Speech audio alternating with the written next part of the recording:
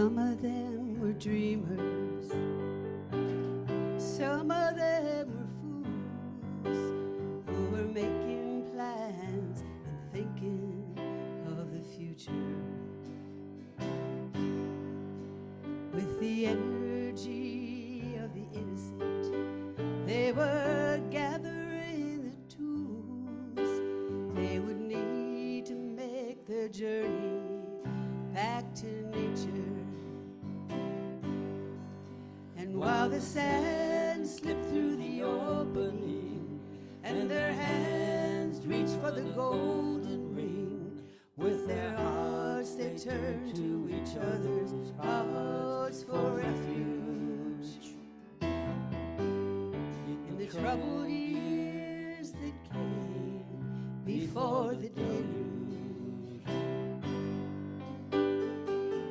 Some of them do pleasure, some of them do pain, and for some of them it was only the moment that mattered. On the brave and crazy wings of you.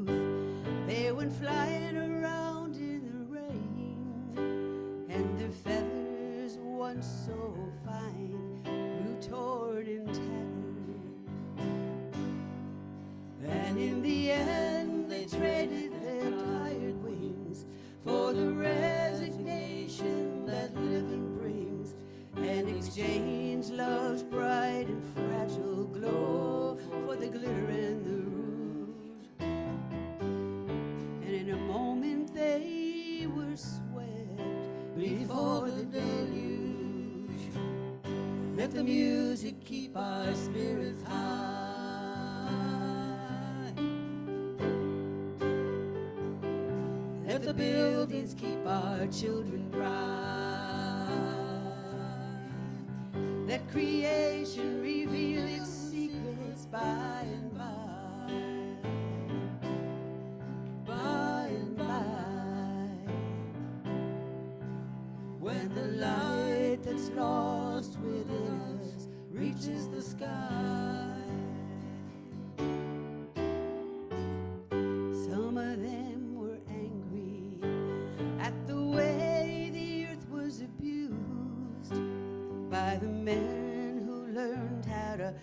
poured her beauty into power,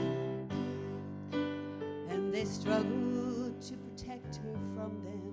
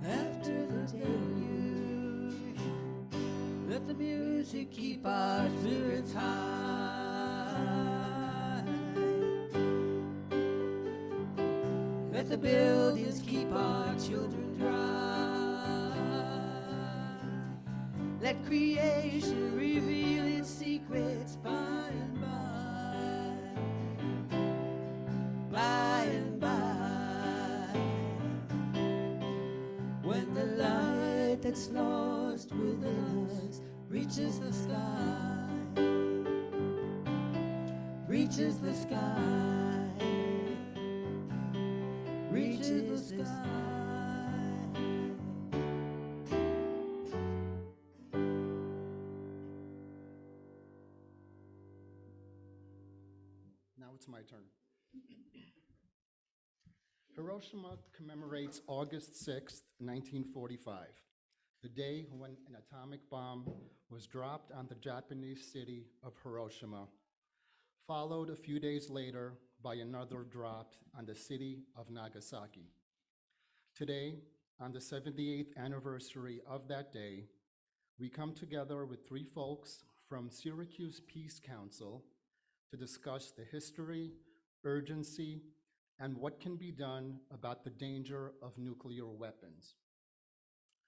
Welcome to the Unitarian Universalist Church of Utica. I'm John Camilleri, coordinator of Soul Matters Small Group Ministry. If you're joining us for the first time in person or online, a special welcome. So, whether you are visiting us for the first time or you've been a longtime member, you are welcome here. Whatever faith traditions you have known, if any, whomever you love, whatever gender, gender identity you embrace, you are welcome here. We invite you to bring your whole selves to this service. Our congregation acknowledges that the land on which the church is situated is the ancestral land of the Oneida people. On this land, in this church, we are a people who build a faith community. We have two announcements today. Jack?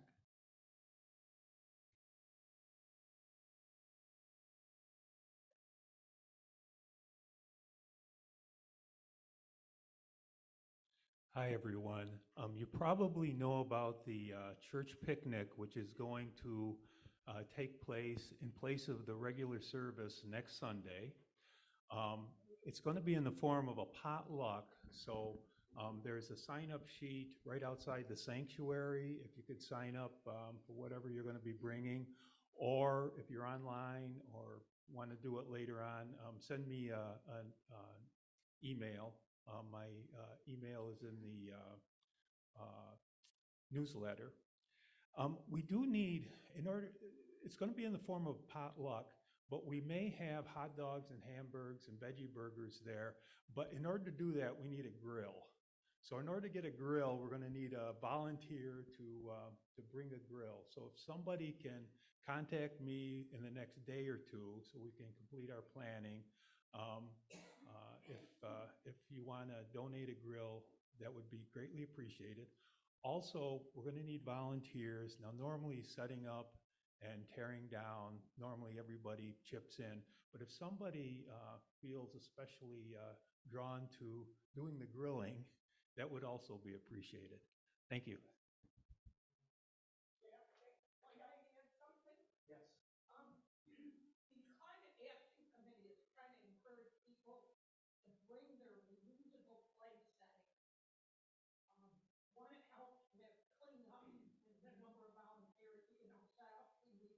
But also, um, we want the least disposable, uh, where we can handle. So if you bring your individual plate settings, it really serves a number of purposes, and we appreciate that. Right. I'm not sure if everybody online heard that, but um, if you're coming to the, uh, to the uh, uh, church picnic next week, the Climate Action Committee would encourage people to bring their own reusable place settings um, for obvious reasons. Um, Thank you.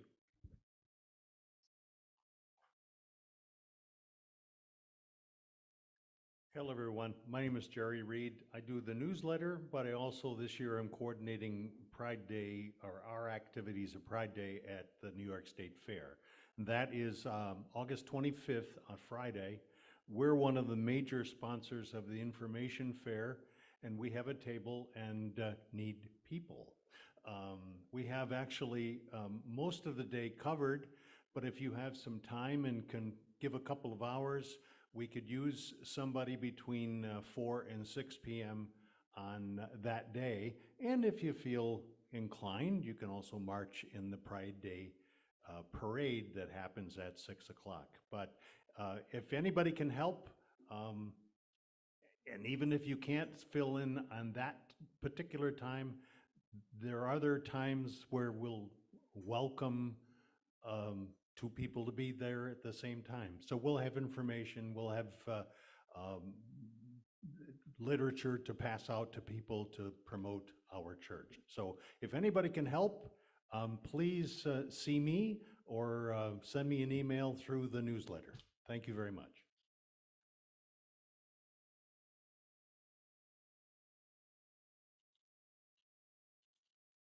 For our call to worship, we share excerpts of a resolution from the participants of the um, Unitarian Universalist United Nations Office 2017 Intergenerational Spring Seminar. We resolve to urge all 193 member states of the United Nations to complete the Nuclear Weapons Prohibition Treaty and put it into force.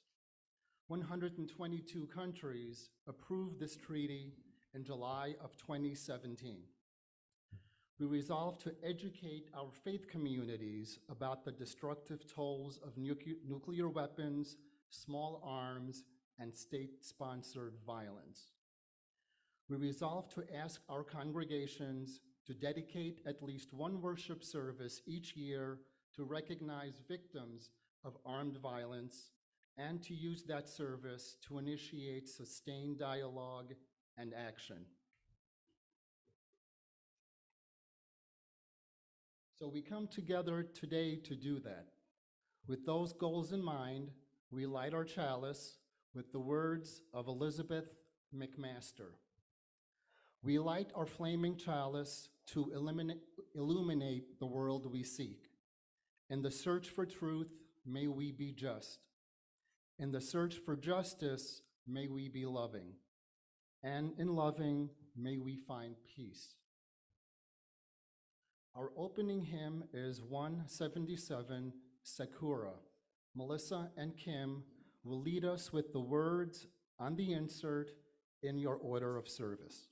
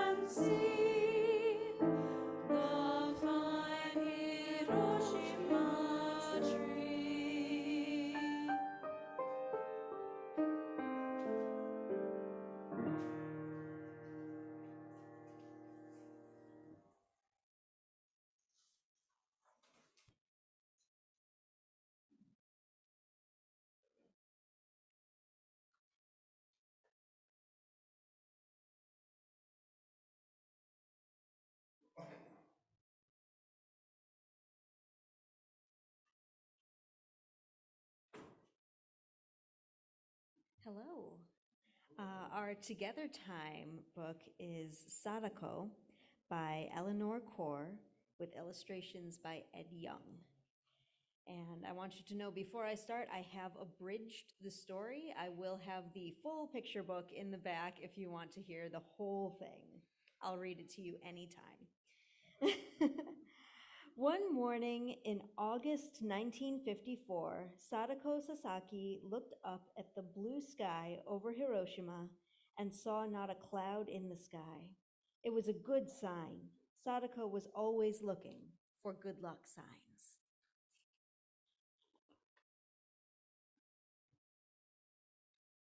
Get up, lazy bones, she said to her siblings. Rushing like a whirlwind into the kitchen, Sadako cried, Mother, can we please hurry with breakfast? I can hardly wait for the carnival. You must not call it a carnival, her mother said. It is a memorial day for those who died when the atom bomb was dropped on our city. Your own grandmother was killed, and you must show respect. But I do respect Obasan, Sadako said.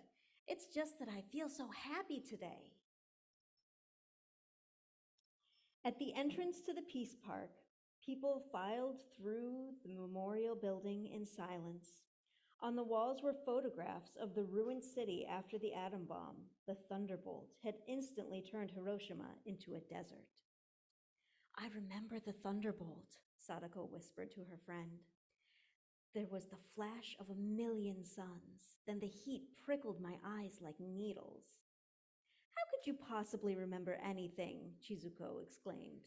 You were only a baby then. Well, I do, said Sadako stubbornly. It was the beginning of autumn when Sadako rushed into the house with good news. The most wonderful thing has happened, she said breathlessly. The big race on field day. I've been chosen to be on the relay team. That was what Sadako wanted more than anything else. From then on, Sadako thought of only one thing the relay race. She practiced every day at school and often ran all the way home. Maybe, she thought, I will be the fastest runner in the world.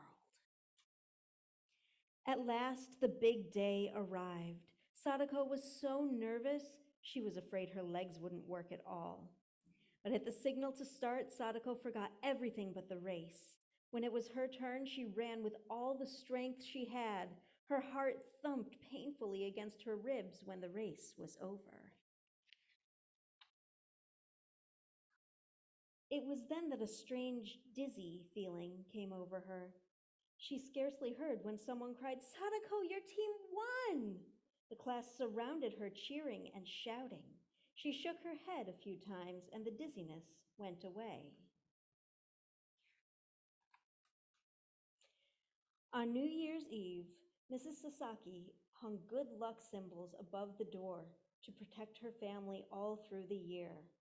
As soon as we can afford it, I'll buy you a kimono, she promised. A girl your age should have one. For several weeks, it seemed like the good luck symbols were working. Sadako felt strong and healthy, and she ran faster and faster. But all that ended one crisp, cold winter day in February when Sadako was running in the schoolyard. Suddenly, everything seemed to whirl around her, and she sank to the ground. Soon, Sadako was in an examining room in the hospital, where the nurse took some of her blood. Sadako heard the doctor say the word leukemia. That was the sickness caused by the atom bomb. She put her hands over her ears, not wanting to hear any more. Do I really have the atom bomb disease? she asked anxiously. The doctors want to take some tests, that's all, her father told her. They might keep you here a few weeks. To Sadako, it seemed like years. What about the relay team? When her family left for the night, she had never felt so lonely. The next day, Chizuko came to visit, smiling mysteriously. I figured out a way for you to get well, she said proudly. Watch. She cut a piece of gold paper into a large square and folded it over and over until it became a beautiful crane. Don't you remember the old story about the crane? Chizuko asked. It's supposed to live for a thousand years. If a sick person folds 1,000 paper cranes, the gods will grant her wish and make her well again. She handed the golden crane to Sadako. Here's your first one. Thank you, Sadako whispered. I'll never part with it. That night, Sadako felt safe and lucky. She set to work folding cranes.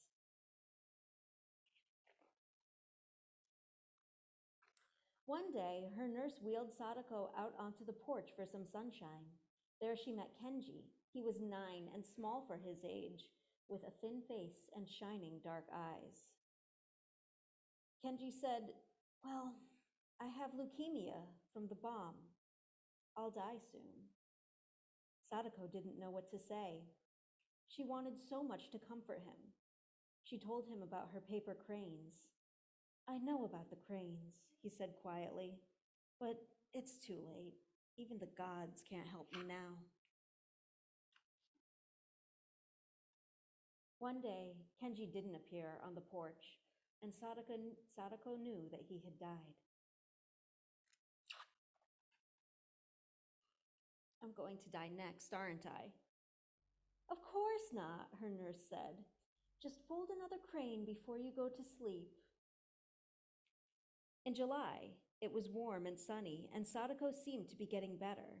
I'm over halfway to a thousand cranes, so something good is going to happen. And it did. Her appetite came back, and much of the pain went away. She was going to go home for Obon, the biggest holiday of the year. After they had eaten, her sister handed Sadako a big box tied with a red ribbon. Slowly, Sadako opened it. Inside was a silk kimono with cherry blossoms on it. Sadako felt hot tears blur her eyes. Why did she why did you do it? she asked. Silk costs so much money. Sadako, her father said gently, your mother stayed up late last night to finish sewing it. Try it on for her. Everyone agreed that she looked like a princess. Sadako let out a happy sigh. But by the end of the week, Sadako was weak again and had to return to the hospital. The class sent her a Kokeshi doll to cheer her up. Sadako placed it on the bedside table next to the golden crane. For the next few days, Sadako drifted in and out of a strange kind of half sleep. When I die, she said dreamily, will you put my favorite bean cakes on the altar for my spirit? And put a lantern on the Ota River for me on Peace Day? As Sadako grew weaker, she wondered did it hurt to die? Or was it like falling asleep? Would she live on a heavenly mountain or a star? She fumbled with a paper with a piece of paper and clumsily folded one more bird. 644. Her mother came in and felt her forehead. She gently took the paper away. As Sadako closed her eyes, she heard her mother whisper, O flock of heavenly cranes, cover my child with your wings. When she opened her eyes again, Sadako saw her family there beside the bed. She looked around at their faces and smiled. She knew that she would always be a part of their warm, loving circle. Sadako looked up at the flock of paper cranes hanging from the ceiling. As she watched, a light autumn breeze made the birds rustle and sway. They seemed to be alive and flying out through the open window. Sadako sighed and closed her eyes. How beautiful and free they were.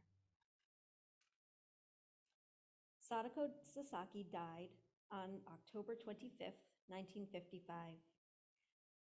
Her friends and classmates worked together to fold 356 paper cranes so that she would be buried with 1,000. In a way, she got her wish. She will live on in the hearts of the people who hear her story.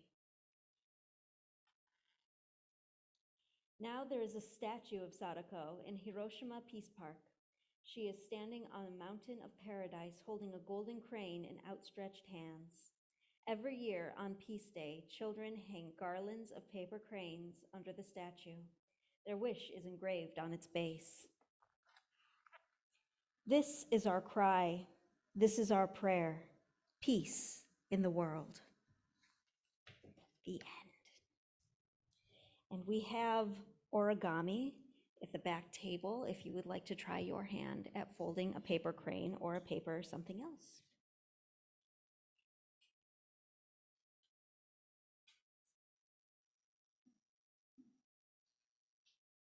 Thank you, Stephanie. Katie Spire suggested today's Hiroshima Day service several months ago.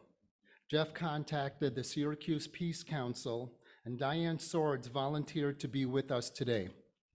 Diane is a member of the Nucle- Nuclear Free World Committee of the Peace Council and is on the National Steering Committee of Back from the Brink. Diane will be introducing two colleagues who are with her. This is just their first stop today. Diane, Ayeh, Chloe, thank you for joining us. I'll I'll invite you up.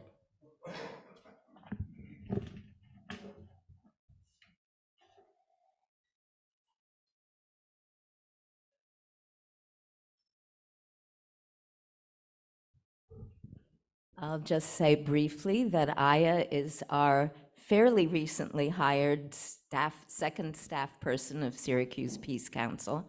She's also uh, going into her senior year at Le Moyne College. And uh, I'm really happy to introduce her, and I think you'll introduce Chloe, right? Thank you, Diane, and thank you everyone for joining us. I stand before you today alongside members of the Syracuse Peace Council. We gather here not only as advocates for peace, but also as individuals deeply committed to raising awareness about one of the darkest moments in history the atrocities in Hiroshima and Nagasaki. As members of the Peace Council, our mission since 1936 has been to promote nonviolence, social justice, and a world free from the specter of war. We believe that by understanding and acknowledging the tragic events of the past, we can better shape a future that embraces peace, compassion, and global cooperation. 78 years ago, on August 6th and 9th, 1945, the world witnessed the devastating power of nuclear weapons when the United States dropped the atomic bombs on Hiroshima and Nagasaki. The bombings of these two Japanese cities marked the climax of World War II and forever altered the course of human warfare. The immediate impact was catastrophic, with an estimated 200,000 lives lost, many of whom were innocent civilians, including women and children. The cities were reduced to rubble, and countless of the survivors suffered severe injuries and long term health consequences due to the in- intense radiation exposure. Beyond the staggering loss of life, which continues to this day due to radiation, the bombings of Hiroshima and Nagasaki also left a lasting impact on our collective consciousness. They marked the beginning of the nuclear age and introduced a new era of global fear and uncertainty. The specter of nuclear warfare has loomed over us ever since, and the existential threat it poses to humanity remains a pressing concern to this day. But let us not forget that out of this tra- tragedy arose a vital call for peace and nuclear disarmament. The survivors, known as Hibakusha, have become powerful advocates for peace and nonproliferation, sharing their harrowing experiences to, to ensure that future generations never forget the horrors of nuclear war. The bombings of Hiroshima and Nagasaki stand as a stark reminder of the potential consequences of unchecked aggression, hatred, and the dest- destructive power of technology. They teach us that we must embrace, embrace diplomacy, understanding, and compassion if we are to prevent such atrocities from ever happening again. As we remember the victims and survivors of Hiroshima and Nagasaki, let us commit ourselves to the pursuit of a world free from the threat of nuclear weapons. It is our responsibility to learn from history and work tirelessly towards a future where peace and cooperation and diplomacy reign. We must also recognize that the lessons from history are not confined to the past. The dangers of nuclear proliferation persist in our world today, reminding us that the consequences of unchecked aggression and hatred are as real now as they were then. In the spirit of remembrance and responsibility, we turn our attention to the present challenges we face. With Chloe, our SPC intern.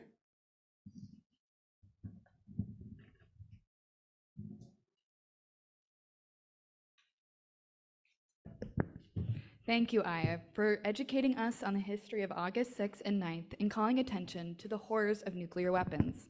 As we move forward, armed with this knowledge of the immense horrors nuclear weapons inherently possess, we must stay informed of and analyze the role nuclear weapons currently has in 2023.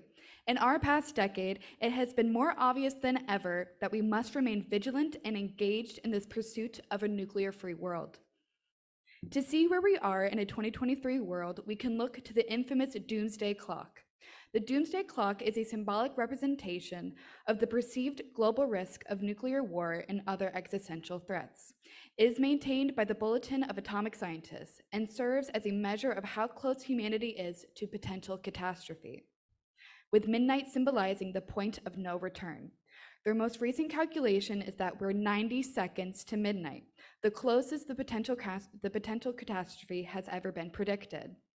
This clock is not merely an abstract concept. It is based on expert analysis and judgment from leading scientists and policymakers who closely monitor the state of the world. It considers factors such as geopolitical tensions, nuclear developments, environmental degradation, and advancements in technology. Together, we must strive to turn back the hands of the doomsday clock and safeguard the future of our humanity. We need to turn back the clock, or else there is potential for devastation on an unimaginable scale. The atomic bombs dropped during World War II were primitive compared to the advanced thermonuclear devices developed later. Modern nuclear warheads possess a potency of thousands times greater than those that devastated Japan, capable of leaving entire cities in an instant, of leveling entire cities in an instant. And in 2018, an accident did happen. A chilling incident unfolded in Hawaii that sent shockwaves of fear and panic across the islands. A false alarm was issued, warning residents of an imminent ballistic missile threat, pushing them to seek immediate shelter and stating that the alert was not a drill. The alarm, the alarm persisted for a nerve wracking 38 minutes and 13 seconds before authorities publicly announced that it was a mistake. Those excruciating minutes saw people grappling with terror and contemplating the worst possible outcome. This incident exposed the fragility of our nuclear safety systems and reminded us all that even accidental actions can have catastrophic consequences. This harrowing event highlighted how quickly a simple error could escalate into unthinkable tragedy.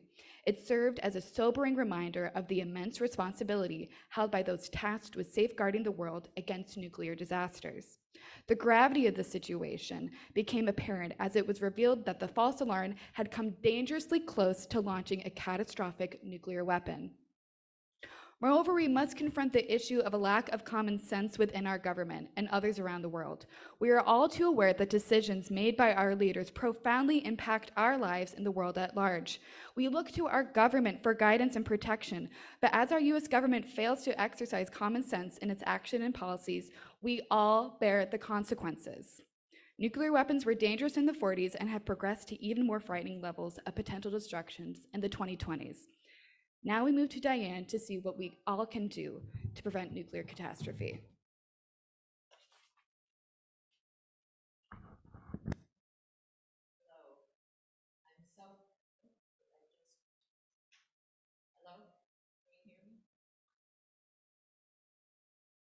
Oh. There we go. I got it. I'm so glad to be here with you. I really so appreciate the service so far. The music is wonderful. The uh, Stephanie, your reading of the story, thank you so much. And I do have to mention, uh, hanging on the front of the podium are a thousand cranes. Um, these cranes were given to Joanna Macy. Some of you may know that name. And she sent them home to me with a mutual friend of ours. And so I keep them and rarely take them out of my house and the plastic bag that uh, keeps them safe and covered. So I'm really happy to have them here today.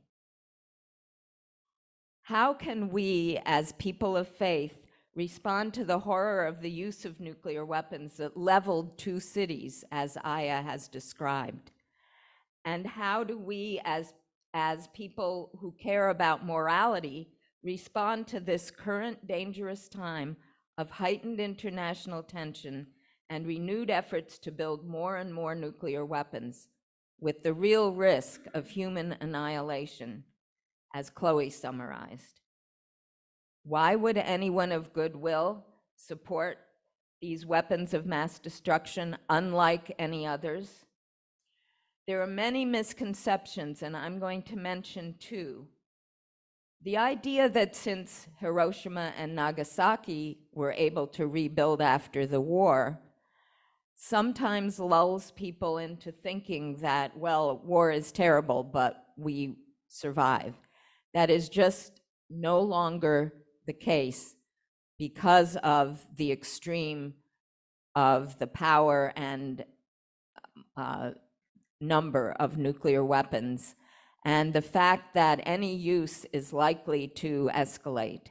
So we can't think that even even if we were thinking that well war is just going to happen we have to we can't help it we have to stop it the second um, huge misconception that i'm going to mention uh, was raised by chloe in talking about um, the the idea that we won't use these weapons because they're much too terrible that idea is called deterrence in political language. But deterrence depends on two things. It depends on the rationality of governments, as Chloe mentioned, and it depends on no accidents happening, as she also mentioned. But that so many people believe these myths is very disturbing. The danger we're in feels overwhelming. We could lose hope. I've been reading Paulo Freire's The Pedagogy of Hope.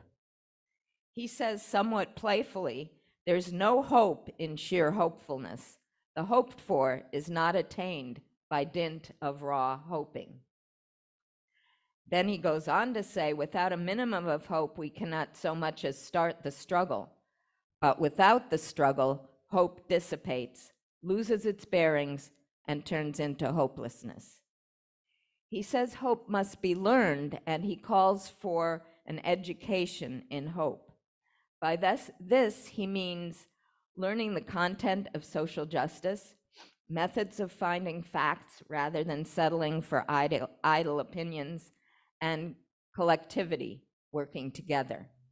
So, we at Syracuse Peace Council are in the struggle, studying social justice, finding the facts, and working collectively beyond our local area with uh, groups across the state and with the national Back from the Brink campaign to prevent nuclear war. And that is also connected to international struggles. The campaign is not raw hope, but active hope. By the way, the title of a book Joanna Macy wrote. Um, I urge you to look her up. This uh, this campaign of Back from the Brink promotes legislation and advocacy for five achievable goals to overturn the current policy under which the U.S. retains the option to use nuclear weapons first in a conflict, to take weapons off hair trigger alert, as almost cost us our planet in the Hawaii incident, to stop the sole authority of any president to launch a nuclear war, to stop wasting precious resources needed to address climate and human needs on more and more dangerous nuclear weapons, and to pressure our government to participate in the Treaty on the Prohibition of Nuclear Weapons that was mentioned in the 2017 proclamation that was read at the beginning of the service. We work in many ways, educating the public, working with legislators, promoting endorsement of the Back from the Brink campaign, and encouraging divestment from nuclear industries. Many legislators have endorsed the campaign at federal, state, and local levels. You can be part of this action and part of the hope. Do you think your congregation might endorse the campaign? A number of uni- Unitarian congregations already have endorsed, and the National Unitarian Universalist Association has endorsed, and I see that your congregation is a member of that group. As for legislators, I believe you are in the same congressional district as Syracuse, with Brandon Williams as your representative. He should hear from all of us. Perhaps more important in this case is to focus on your local representatives. Their endorsement magnifies your individual ones. In Syracuse, we have endorsements from 20 local organizations and 10 local representatives, including our mayor. Mayor Walsh speaks eloquently about why it's a no-brainer to support this campaign. It's a local issue to prevent annihilation. And it's a local issue to use resources for our communities. Can you put hope into action with us? Expanding our collective power is essential. Let us renew the commitment to care for each other, to reject the mistreatment of any living beings and the earth, to speak out, to learn, to fight, and yes, to hope. And I'll just mention that we do have a petition for the five points of uh, the, the um, Back from the Brink campaign that are, are now a congressional um, uh, resolution um, called House Resolution 77. We have petitions um, out in the back. And um, there's also a QR code for a letter if you would like to uh, write something about this to your uh, local and state and national representatives. Thank you so much.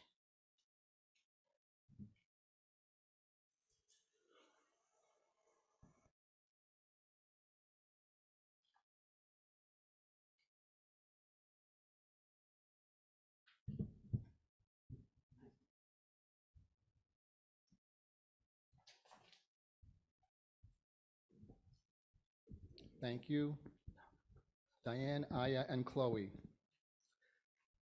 Our next hymn is hymn 167 in the gray hymnal, Nothing But Peace is Enough. So, what's in your hymnal is uh, the chorus, actually, to a Jim Scott song. And so I went and got the entire Jim Scott songs. I'm going to teach you guys the chorus, and you're going to sing along the chorus part, and uh, I'm going to do the verses, and Kim is going to help you guys out. So we'll do it for you once, uh, so you can hear it, and then we'll give you guys a try. Nothing but peace is enough for me. Nothing but peace is enough. Nothing but peace is enough. Nothing but peace is enough for me. Sound good? So how about you guys can stand as you are willing and able, and I'll let you know. Uh, we'll start with the chorus, and then I'll let you know every time it's your turn to come in. One, two, three, four. Nothing but peace is enough for me. Nothing but peace is enough.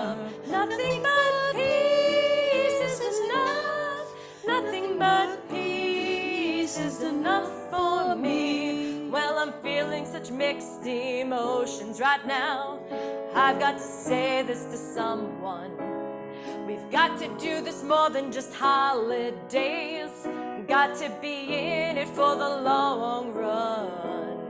For the long run. Now your turn. Nothing but peace is enough for me.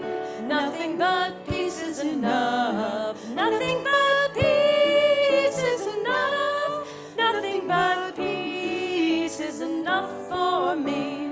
Can weapons of war be weapons of peace? We're fighting in a different fashion. We too are working for peace through strength, though our strength is in our compassion. In our compassion. Your turn. Nothing but peace is enough for me. Nothing but peace is enough.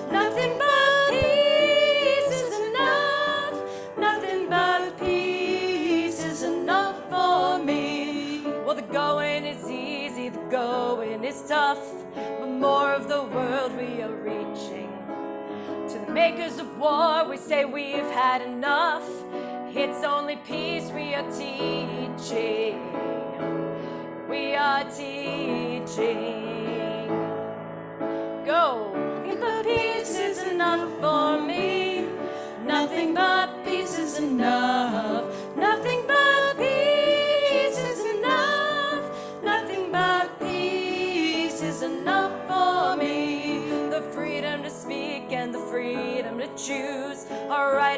Responsibility. Without vigilance, freedoms are easy to lose, and there's no freedom without equality without equality. One more time. Nothing but peace is enough for me. Nothing but peace is enough. Nothing but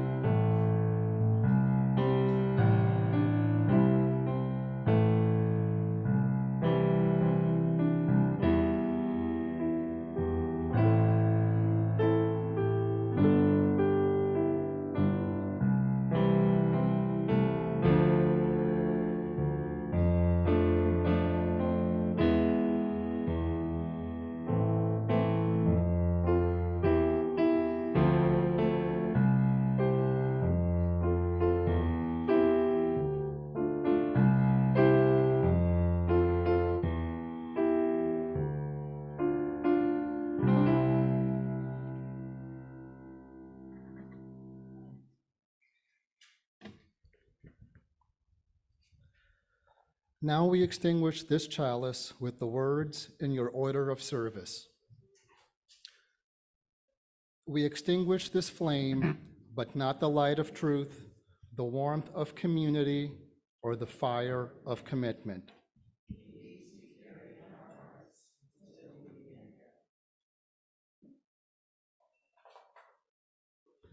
Our benediction today is from Steve J. Crump. That which is worthy of doing, create with your hands. That which is worthy of repeating, speak with a clear voice. That which is worthy of remembering, hold in your hearts. And that which is worthy of living, go and live it now.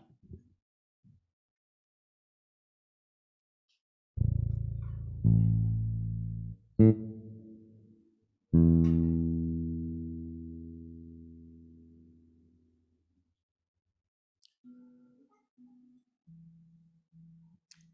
sing loud enough that he doesn't hear my untuned guitar.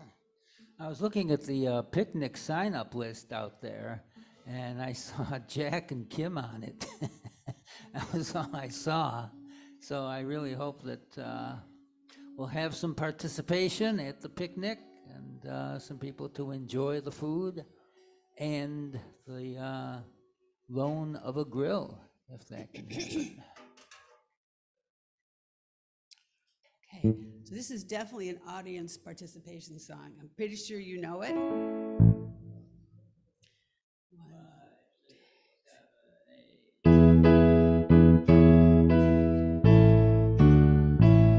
I'm gonna lay down my burden down by the riverside, down by the riverside, down by the riverside. I'm gonna lay down my burden down by riverside. I'm gonna study war no more.